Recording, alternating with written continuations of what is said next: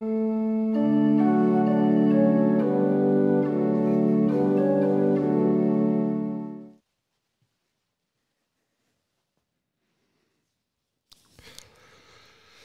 десь стається щось недобре, нам цікаво.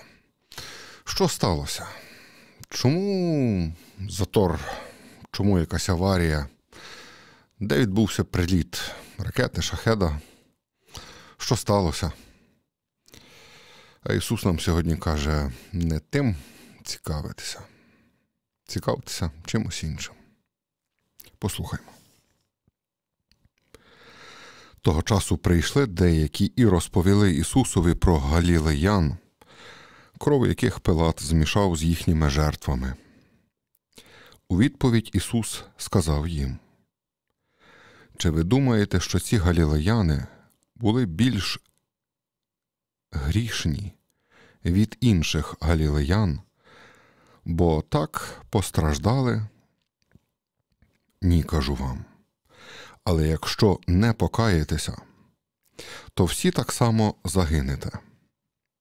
Або ті 18, на яких упала силоамська вежа і вбила їх. Чи, чи думаєте, що вони були більше винні від усіх людей, які проживають в Єрусалимі? Ні, кажу вам. Але якщо не покаєтеся, то всі отак загинете. І він розповів таку притчу. Один чоловік мав у своєму винограднику посаджену смоківницю і прийшов шукати на ній плоду, але не знайшов. Тож сказав він виноградареві: Ось уже третій рік, як приходжу шукати плоду на цій смоківниці і не знаходжу. Тому зрубай її навіщо землю даремно займає? А той у відповідь каже йому: Пане, залиш її ще на цей рік, доки обкопаю довкола неї та підсиплю гною. То, може, наступного року зродить плід, а коли ні, зрубаєш її. Дорогі брати і сестри, сьогоднішній фрагмент є досить величеньким. Обговоримо його, обговоримо перше читання. Е, Сьогоднішній фрагмент складений з кількох фрагментів.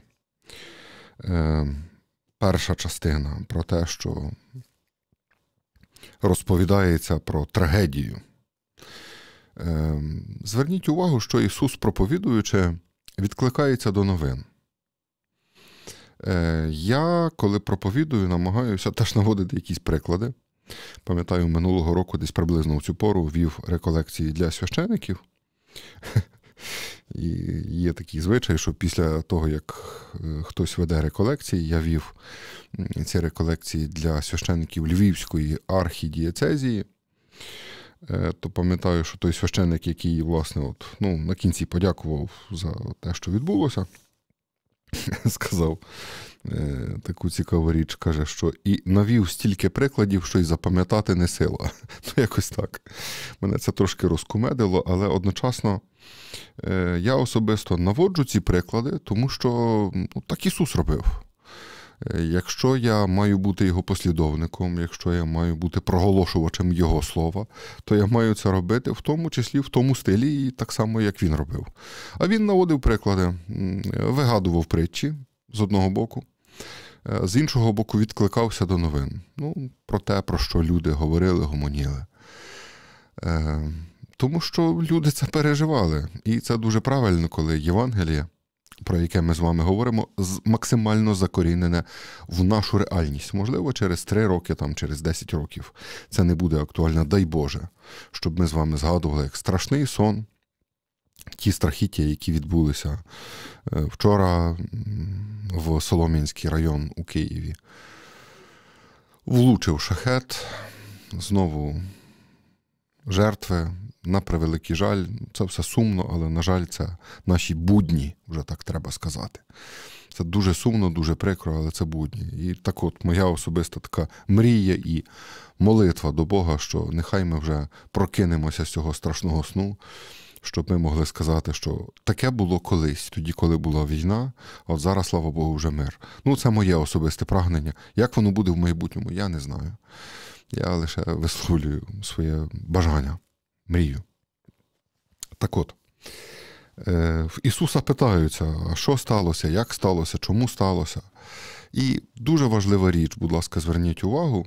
Е, знаєте, мені, е, я скажу одразу, мені подобається це. Я стараюся вам про це говорити, і стараюся вам говорити про те, що потрібно говорити не тільки про те, що не подобається, але про те, що подобається, теж потрібно говорити. Так от, мені подобається, що ви коментуєте проповіді. Е, вчора один наш е, глядач Петро геть доповнив певною притчею е, мою вчорашню проповідь. Якби ви не читали, то я перекажу її, бо я вважаю, що вона варта насправді уваги. Він якось каже: я парафразував і скоротив. Історія така: Сатана посилав демонів на землю і в нього і в тих демонів нічого не виходило. Їм не вдалося відвести людей від Бога, якось їх спокушати. І тоді сатана пішов сам. Е, Приходить і, виявляється, в нього були великі жнива. Багатьох людей спокусив і привів до пекла. Е, ну і тоді в нього питаються, я, можливо, теж вже перефразую, е, що ж ти таке сказав? Він каже: А я не сперечався з церквою, я не казав, що не слухайте священиків, ви їх слухайте. Все, що вони кажуть, правильно. Але зробіть це завтра. І ну, насправді, Петре, я вдячний вам за цю притчу, е, тому що ну, в десяточку насправді от, приблизно про це саме йдеться. І зверніть увагу, що сьогоднішній фрагмент є продовженням вчорашнього фрагменту в цьому плані.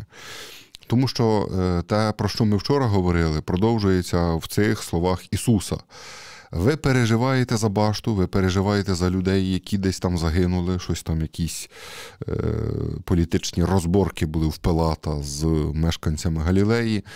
Ви думаєте, що от проблема в тих людях, що вони гірші за вас. Ні, річ не в цьому. Ви не про те думаєте. Зверніть, будь ласка, увагу. Ісус весь час звертає. Зверніть увагу, бо Ісус звертає увагу. Так, ну трошки вже заговорююся. Е, він каже: ви думаєте про це? Так не думайте про це. Думайте про інше. Ви витрачаєте свій ресурс, витрачаєте свої душевні сили, витрачаєте свою увагу, свій час на те, що не суттєве. У вас не так вже й багато того часу і тих сил, щоб їх тринькати наліво-направо. Дивіться на це. Ось дуже важливо побачити цю євангельську логіку, як Ісус хоче промовити. Е, відвернення уваги. Ну, потрібно повернути, повернути і дивитися на те, на що треба. Е, я коли випадає фрагмент саме тієї Євангелії, того фрагменту, коли пам'ятаєте, Петро йшов по воді, поки дивився на Ісуса.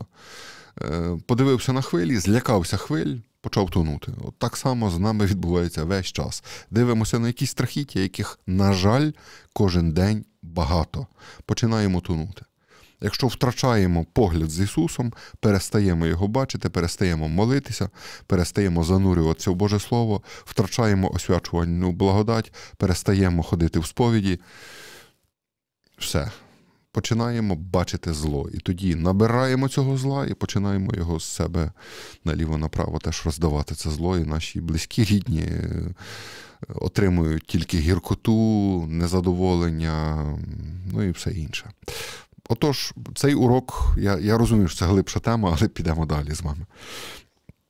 Далі. Е, Далі зверніть, будь ласка, увагу, що в цьому тексті, наводячи один приклад, потім наводячи інший приклад, е, Ісус каже: Але якщо не покаєтеся, усі загинете так само. Ми з вами живемо ну, насправді в страшних часах, коли в тому числі ось ця небезпека. Е, вона перейшла не тільки в світ. Ну, в світі то ясно, що е, від Бога нас хочуть відвести, але перейшла також в церкву. Тому що в церкві постійно говориться про те, що любов Божа беззастережна, все, що дає Бог, воно безумовне, від нас нічого не очікується. Ну, Одразу скажу, що це наслідок протестантизації церкви.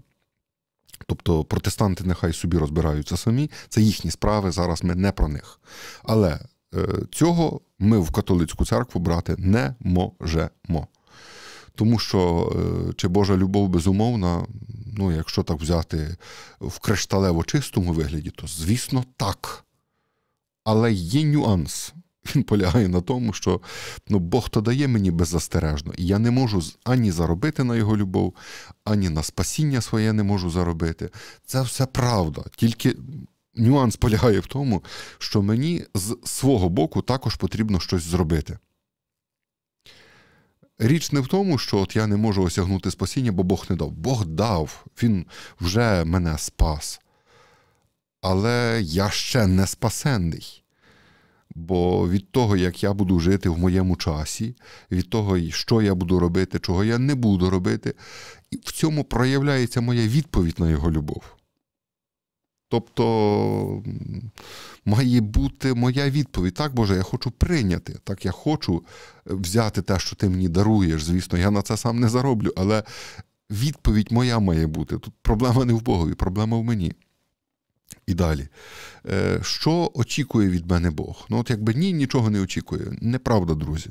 Коли ви чуєте навіть в церкві ось ці історії про те, що тільки любов, тільки ось беззастережна Божа любов, тільки е, потрібно говорити, що Бог тебе любить.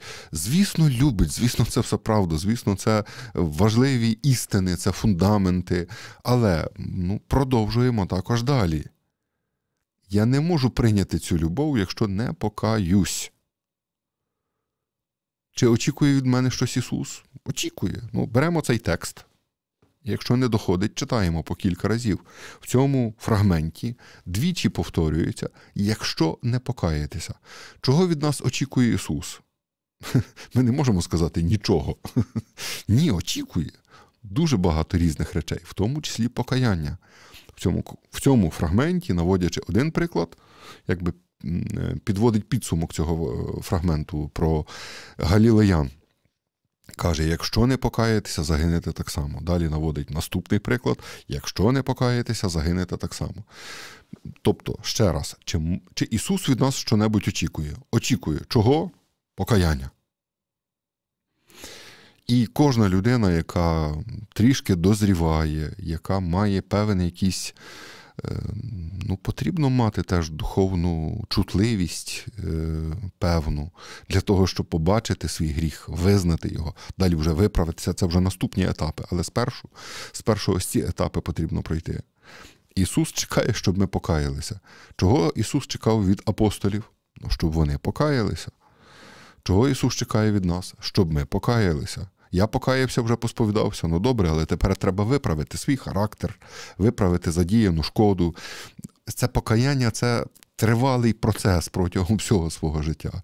Не можна сказати, все, я вже покаяний, мені вже більше нічого не треба. Ох, ох, наскільки це самовдоволена думка і дуже небезпечна. Але е, розбираємо е, цей фрагмент далі. Він розповів таку притчу. Цю притчу з вами знаємо. Е, Я пам'ятаю вже теж з цього місця не один раз проповідь на цю тему говорив. Е, зараз детально аж так розбирати не буду, скажу лише таке. Е, тут наводиться приклад, що смоківниця не приносить плоду, господар очікує чого? Очікує плоду. Тут знову відкликаємося до того, що рядком вище сказав. Чи очікує чогось Господь від нас? Очікує чого плоду. Що є нашим плодом? Плодом нашого життя покаяння, праведне життя. Зрозуміло, що ми не спасаємося своїм покаянням і своїм праведним життям. Ну, Ми навіть ну, немає що порівнювати, це теж вже інші зовсім притчі. Але ну, все рівно ми з нашого боку ось цей один крок в сторону Бога повинні зробити. Це наше покаяння, це всього на всього один крок порівняно з його там тисячами, мільйонами, мільярдами кілометрів світлових років, наскільки ми віддалені, на жаль, від нього. Е, І тут описується про цю смоківницю. Теж вже мова алегорії, порівнянь. Е, той садівник, ну бо виноградар, виноградар займається виноградом, а це садівник, ну бо він займається е, саме смоквами. Ну, Але в нашій мові людській є багато таких випадків, коли ми, наприклад, на якийсь там одяг, е, на майку кажемо футболка. Хоча в футбол можна в цій майці ніколи в житті не грати. Так? Або так само кепка, бейсболка, навіть якщо людина ну, ніколи бейсбола не грала, то навіть не знає, на чому та гра полягає. Так? Тобто будь-які копіювальні пристрої для паперу ми називаємо Xerox, хоча він може бути фірми там Canon чи будь-якої іншої. Так? Ну і так само тут. Е, Кажеться, що це виноградар, хоча цей виноградар займається не виноградом, але смоквами. Е, Це, Це просто нюанс. І він пропонує: я їй залиш ще на рік, поки я її обкопаю довкола та підсиплю гною. Ну і звісно, що коли обкопується, це означає, що ну як, хитається ґрунт. Хто з нас любить, коли хитається ґрунт, коли ем, ми втрачаємо, не знаю, там, чи роботу, чи якісь життєві обставини, чи якихось рідних людей втрачаємо чи втрачаємо ще щось, що захитує нас. Ми от стаємо хиткі, не маємо на що опертися. Чи нам це подобається? Ні, не подобається. Але Господь хоче, щоб ми внаслідок ось цих хитань, віднайдення свого місця, віднайдення ґрунту, щоб ми давали плід. Ну, можливо, його не даємо. Далі, підсиплю гною. Ну, Тут не знаю навіть, що треба пояснювати. Гній є гній. Він смердить. Цей сморід є неприємним. Ось там не знаю, чи хтось з вас, чи чи всі з нас займаються сільським господарством і особисто розсипали чи розсипують гній. Ну, то знаєте, що геть потрібно навіть і переодягнутися, тому що цей запах він настільки в'їдається там в той одяг, що е, якось це там провітрити неможливо. Потрібно просто змінювати цей одяг, переодягатися. Е, далі, десь там, їдучи по дорозі, можна теж е, потрібно в автомобілі замикати ці шторки, заслонки, тому що дихати цим дуже тяжко, це неприємно. Коли людина якось е, має якусь хворобу ту чи іншу і теж гниє, ну, то це, як правило, теж і історія болюча, і не дуже гарно пахнуча, і так далі. і так далі. Тобто, слово гній, ми з вами знаємо, що ця ситуація дуже, як правило, неприємна. І тут говориться про гній. Ну, Хоча ще раз, ну, нічого приємного в цьому гною немає з одного боку, з іншого боку, е, якщо обкласти гноєм, якщо мати ось ці добрива, ну то буде наступний хороший врожай. Воно вродить. Хоча ну, раніше смерділо, ну, а потім буде пахнути. Ну, Ось приблизно є така послідовність. І тут, дорогі друзі, я би хотів з вами обговорити питання дружби, дружнього такого зауваження. Е, наведу одразу приклад. Ну, Ми ж сьогодні про приклади з вами теж говоримо. Нещодавно я був свідком однієї ситуації. Е, І от якби людина у мене питається, от якби, що було зроблено, добре, погано. Е, Є досить серйозна дилема, тому що от я бачу плюси, я бачу також мінуси. Але тепер питання, яким чином, яким чином насправді це людині пояснити? Тому що людина чекає підтримки, і це прекрасно, значить, мені довіряють. Ну, тобто, насправді це добре. Але яким чином звернути увагу так, щоб людина не відчула якогось певного, ну, ще раз, цього емоційного дискомфорту? Е, зверніть, будь ласка, увагу, що от коли є таке явище, як дружба, ну, в сенсі не дружба, який на весілля є е, там свідком, має там дружок перетанцювати, має там якісь там свої ці весільні обов'язки, там ходити, запрошувати. Ні, дружба між людьми. От я кажу, що от ви друзі, так? Друзі, так-то і так. То Ісус звертався е, теж до своїх слухачів, називав друзями.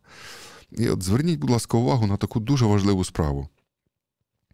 Дружба насправді є тоді, коли е, друг другові товариш товаришеві бажає добра. Але й той товариш, який слухає товариша, слухає його саме тому, що знає, що той бажає добра. Навіть якщо каже щось неприємне, навіть якщо каже якусь погану річ, яка емоційно не приймається, людина одразу стає на деби, що ти таке кажеш, навіщо ти мені це кажеш? Я не хочу це слухати, мені це неприємне. Але в глибині душі, ну або з протягом років роки минають, і людина оцінює. Оце ця людина справді друг, бо він навіть знає, що ну, можливо, ваші відносини будуть зараз натягнуті після цього. Але те, що він тобі каже, є цінним, бо він бажає не те, щоб ти його любив як друга, а він бажає блага тобі. Звісно, це дуже тонкі матерії, тому що можна так зробити зауваження, що людина вже там дуже довго не позбирається докупи і буде відчувати якусь певну агресію, настороженість. І тому я кажу, що ця річ є насправді мистецтвом надзвичайно цінним. І вже не один раз вам казав, що якщо маєте такого друга, який вам робить зауваження, подякуйте йому і подякуйте Богу тому що цей друг більше цінує вас, аніж себе. Тому що, кажучи цю річ, він наражається. Він розуміє, що він вас може втратити як друга. Ну, що часто трапляється. З плином років, це може сказати вже більш-менш людина доросла. Кожна людина розуміє, що ну, друзів стає все менше і менше тому що світоглядно з багатьма людьми ми розбігаємося, тому що з якимись речами ми кардинально не погоджуємося, тому що видно, що ця людина. Ну, або хоче або насміятися, або використати, або е, їй тільки користь якась від мене потрібна. Так? Ну, Тобто, насправді є дуже багато різних неприємних речей в цій втраченій дружбі. Е, в цього є свої причини. І тут ми з вами сьогодні повинні на ось це подивитися. Хто є для нас цим найбільшим другом? Ісус. Він більше хоче нам добра, аніж щоб ми тішилися е, щось, о, який він добрий, він ж каже нам тільки приємні речі. Та не каже він приємних речей. Ну, Тут два рази сказав, що вам треба покаятися. А як не покаєтеся, то загинете. Ну, хто хоче заслухати? Ну, це ж точно неприємні речі, ні разу. Далі каже: е, раз ми плоду не приносимо, а це до нас закид, ну то вас обкопають, ваше життя стане хитким, а далі обсиплять гноєм, гноєм, який буде смердіти, але пізніше з часом дасть свій плід. Ну і от на цьому полягає його дружній підхід. Він дбає про те, щоб ми що робили? правильно приносили плід. До першого читання я би сьогодні хотів звернути увагу вашу. Все не буду зачитувати, де все читати ви в курсі на сайті Кредо. Е, Пропускаю фрагмент. І він поставив одних апостолами, інших пророками, ще інших благовісниками, а тих пастирями та вчителями щоби приготувати святих для справи служіння, для будування Христового тіла, аж поки всі прийдемо до єдності віри і пізнання Божого Слова. Е, є різні люди. І я вчора і позавчора говорив на тему священиків. І, дорогі друзі, якби хтось не знаю, там, чи мене неправильно зрозумів, чи не знаю, якось там з настороженістю ці слова слухав. Друзі, я прошу вас, щоб ви молилися за церкву, щоб ви молилися за священиків, щоб ви молилися за папу, щоб ви молилися за кардиналів, за тих, які є, за тих, які стануть отепер кардиналами. Моліться, щоб вони більше слухали Бога, ніж людей. Е, моліться теж за священиків, якщо зустрічаєтеся з якимись, можливо, не дуже добрими речами. Ну, Якщо в мені побачите якусь теж недобру річ, ну теж за мене помоліться. Ось. А як не побачите, то теж за мене помоліться, щоб я це побачив, ну, навіть якщо ви цього не бачите. Тому я вас прошу про це, це надзвичайно важливо. А тепер. Тепер це дуже важливо. Отож, одні пророки, інші благовісники, ще пастирі, вчителі, щоби приготувати святих, ну тобто нас з вами для справи служіння. Для чого ми маємо бути в церкві? Для чого ми є взагалі на цій землі? Для служіння. Це найважливіше. Вже колись вам хвалився, що от найбільша радість на якійсь сповіді, десь там на якомусь відпусті почути. Дуже часто навіть ту людину і не видно. А може, вже роки минули, вона вже і змінилася, та людина, і я змінився так само. І людина каже: колись там років стільки-то тому ви мені сказали тето і тето. Ну, от я тето і тето щось там зробив чи зробила. І ось так тето і тето мені там помогло, або помогло в тому, або в іншому. Ясно, що я цієї сповіді не пам'ятаю. Але в цей момент я особисто дуже тішуся. Ну, значить, в якийсь момент мене Бог поставив на той стільчик, щоб я там посповідав ту і ту людину, і підібрав потрібне слово для цієї людини. Ну, бо я ж цього не пам'ятаю. Ну, це не від мене, це не моє, це мені не належить. Але разом з тим всім, ну, значить. Це Боже знаряддя, тому я вас вкотре прошу, моліться за священиків. Якщо бачите особливо якісь речі недостойні, чи, наприклад, там не знаю, шукаєте собі сповідника духівника, то моліться про це. Підемо далі. Щоб ми не були більше малими дітьми, які хитаються, от знову про це саме хитання, і захоплюються всі, всяким віянням вчення, людською підступністю, лукавством, що вводить в оману, але правдомовні в любові зростали в усьому до того, що є, хто є головою Христа. Неймовірний текст. Ну, теж можна по слові розбирати. Це просто щось прекрасне. Щоб ми не були більше малими дітьми. Ну, Нам потрібно дорослішати. В контексті ось цієї дружби. От дивіться, Якщо ви не раз переживали е, ось цей дискомфорт від зауваження товариша, ви знаєте, що от він каже вам те, що вам чути неприємно. Але разом з тим всім відчувається от любов цієї людини і повага до мене, до мене, якому кажеться це неприємне, тому що мені хочуть добра хочуть цього добра настільки, що готові пройти цей тісний чи незручний цей емоційний момент. І, напевно, ось це важливо, бо ось це процес дорослішання, коли людина, можливо, навіть десь там скипить в кожного з нас різний темперамент, навіть якщо людина вскипить, але пізніше скаже: ну так, це було може не дуже приємно, але це було дуже правильно. Я тобі за це вдячний. І ще раз подякуємо Богові за таких друзів, якщо ми їх маємо. Якщо не маємо, ну треба шукати, треба над цим працювати. І треба обертатися серед тих людей, які нам хочуть добра, а не просто є випадковими попутниками десь там. Ні, треба шукати тих, хто хоче нам добре. І будьмо самими, самі для інших такими, яким хочемо іншим добра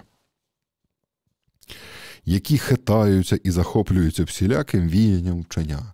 Ну, Про ці хитання і захоплення, ну, годі й говорити. Можна подивитися, скільки людей були захоплені ще з радянського часу от, атеїстичною ідеологією. Зараз це приносить свої криваві сатанинські плоди в поведінці дуже багатьох людей. В нашу епоху, в наш час люди отримали безлімітний доступ до будь-якої інформації, і тому люди черпають, ох, які дурниці. Одні дурниці дурніші за інших. І і так люди на це ведуться. Хтось там, якась там жінка оголосила себе, що вона Богородиця. Хтось там оголосив, що він там великий психолог гуру. Хтось там оголошує знову ще якась там секта з'явилася. І цю, цим всім дурницям кінця і краю просто немає. Потім теж е, знімають фільми якісь, навіть вже тут не йдеться про богослів'я чи там про духовне життя. Навіть знімають фільми, якісь нібито історичні, але ті історичні фільми нашпиговані брехнею. Там нічого справди немає, крім там, не знаю, якогось одягу чи імен. І це сумно, тому що ми живемо з вами постійно в ворожому неприязному середовищі, до правди. Я не кажу вже тільки про духовність чи там покаяння е, життя віруючої людини, але взагалі нас оточує неправда. Це кислотне, небезпечне середовище. людською підступністю. Ну, ось тут пишеться так. Ну чому це є? Так, люди є підступні, зведені сатаною, який бреше, лукавством, що вводить в оману, але правдомовні в любові зростали в усьому того, хто є головою Христа. Абсолютно прекрасні слова. Я би хотів, щоб ми їх віднаходили саме в контексті от шукання товариша, друга. Е, цим другом є Ісус, який каже, що ну, хоч ти мені друг, але я тобі скажу, друже, покайся. Я хотів би, щоб ти покаявся. І далі, якщо до тебе не доходить, то я тобі скажу, що от є така притча. Ось треба обкопати і погноїти. Так що, якщо навколо нас хиткий ґрунт і смердить, ну, значить Господь очікує від нас плоду покаяння. Господь з вами. Нехай вас благословить Господь Бог Всемогутній, Отець і Син, і Святий Дух. Амінь.